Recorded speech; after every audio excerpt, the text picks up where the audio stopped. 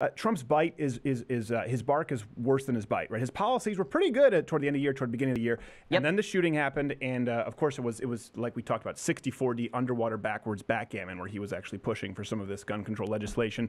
Now we don't really know, and here we have it this week with the tariffs and the taxes. This is something I've always been against. A lot of people don't understand. I think most the, the biggest uh, partner in steel I think we have in the United States or aluminum is Canada.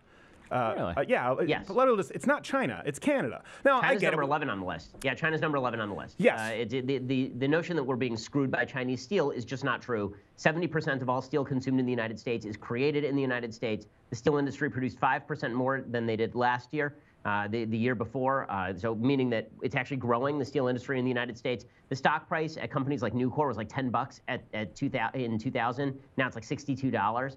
Uh, the United States have been producing approximately the same amount of steel since 1983. It's just that only 25% the same number of employees are required to produce that amount of steel because technology is what's taking away the jobs, Right. not competition from foreign sources. So none of this makes any sense. For every job in the steel industry, there are at least 40 jobs that are dependent on products from the steel industry, meaning that if you increase tariffs, which increase prices in the steel industry, you're passing those prices on to a bevy of other industries. And I'm sorry, watching billionaire Wilbur Ross on national television holding up a Campbell's soup can to explain to the poor why it is that it doesn't matter that they're paying a little bit more for their canned soup is not real good press. Do they use steel? I thought that was tin. Hmm. So I Uh, guess is it- it's, it's, tin, it's, it's steel-plated tin, right? Uh, I guess that's Or right because tin-plated tin would be aluminum, is that tin would cor- corrode, right? I don't know exactly. Either Yeah, way, someone's yeah. gets, either way there's BPA and someone's getting some cancer if it's Campbell's soup, from what I understand. At least, it's, at least a little pair. I just need to buy my oregano oil. You'll be all good.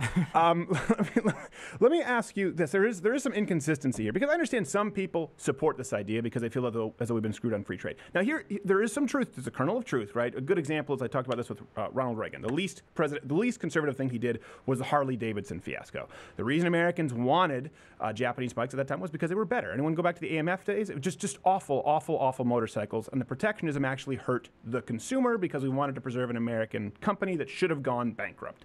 Um, some people don't care. Be American, buy American. So let's put that aside because I know we're not going to get everyone to agree.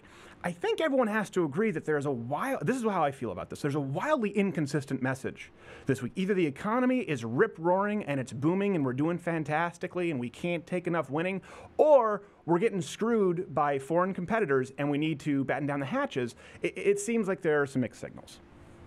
For sure. And I think this is one of the problems for Trump is that he doesn't care about the numbers. He's not interested in the numbers. And you can see that because the stock market has been down since these announcements about the tariffs.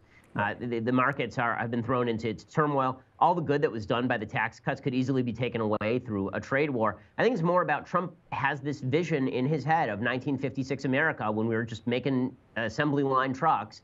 Uh, in, and we were making our own steel in Pittsburgh and in Gary, Indiana. And never mind the fact that the sky was like purple because of all of the, all of the garbage that was being tossed into the air in the production of that. So you'll Never find, mind the fact that the Pittsburgh unemployment rate today is 4.6%, significantly lower than it was during those days. And the air is breathable in Pittsburgh because everybody is now in the healthcare industry or the service industry. Right. It, Trump has this, this, and it's why I think, honestly, there's such a gap in the feelings about Trump between people who are 60 and up and people who are 40 and under. People who are 40 and under look at this and they go, what are you even talking about? Like, you're talking about the steel industry as though, as the steel industry goes, so goes America.